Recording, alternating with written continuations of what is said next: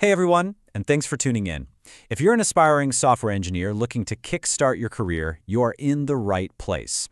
Today, we're going to break down IBM's 2025 recruitment drive and give you the complete blueprint to land their next-gen software engineer role. I'm guessing that's a big yes. So stick around. We're about to walk through absolutely everything you need to know to turn this massive opportunity into your next big career move. Let's jump in. All right, first things first, let's get a really clear picture of the opportunity itself. What exactly is IBM putting on the table for its 2025 hires? There you have it, plain and simple. This is an off-campus drive, and it's aimed squarely at entry-level talent. So if you're a recent graduate or you're just starting out, listen up, because this is designed specifically for you. And this is where it gets really interesting. Look at the scope of this role. We're not talking about just a junior coding job. You're going to be involved in the entire software lifecycle, from the drawing board to deployment. You could be working on anything from core system software to cutting-edge AI. And check out the variety. International teams, open and closed source projects. This is a fantastic launchpad for a serious career in tech. Okay, section two. Let's get into the practical details that, let's be honest, everyone wants to know. Where you'll be, how you'll work, and of course, what's the pay like? So the main hub for this role is going to be Hyderabad, but IBM also has openings in two other huge tech cities, Bangalore and Pune. So you've got some really great options to choose from. And what about the work style? Well, it's a hybrid role. You get that perfect blend of in-office collaboration and work-from-home flexibility that's become so important to all of us. Now for the big one, the salary. IBM is offering a really competitive range of 6 to 10 lakhs per annum.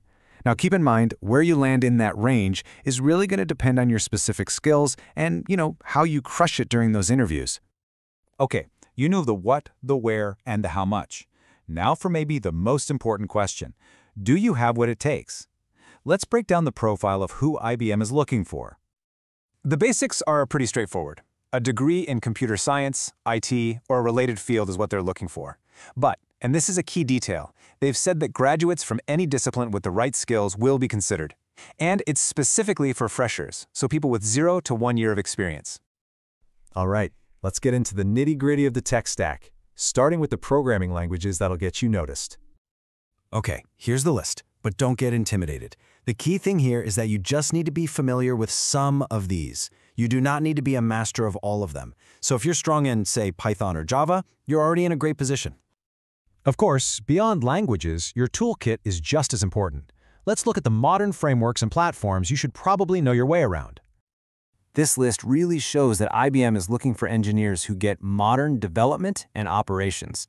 Knowing your way around containerization with Docker and Kubernetes, version control with GitHub, and even AI libraries like TensorFlow, that's what's going to make your application really pop. I think this slide is one of the most useful ones we've got. It separates the must-haves from the nice-to-haves. So on the left, you've got the foundational stuff that's absolutely required, things like operating systems and data structures. Then, on the right, you see those bonus skills like deep storage or networking knowledge that can really give you an edge over everybody else. So, you've got the skills. But how do you navigate the whole hiring process to actually land that offer? Let's walk through the exact path to getting hired at IBM. Now, before we get to the official steps, here is a golden piece of advice, and this is so, so important. Your resume isn't everything. Showing your passion through personal projects or contributing to open source can make a huge difference. It's proof that you live and breathe this stuff. And the path to getting an offer is super clear. It's a four-step process. You start with the online application. Then there's an online assessment to test your aptitude and coding. If you pass that, you move on to a technical interview, and finally the HR interview to make sure it's a great fit for everyone. Simple as that. All right, we have covered the opportunity, the requirements, and the process. There's only one thing left to do. Let's talk about how to take action right now.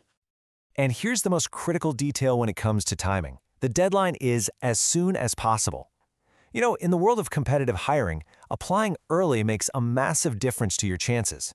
So seriously, don't wait on this. To make it super easy for you, we have put the direct official application link right in the comments section below. Just scroll down, click that link, and you can start your application literally right now. So there you have it, the complete blueprint. The only question left to answer is the one right here on your screen. If this opportunity gets you excited, well, now you have all the information you need to take that next step. Good luck!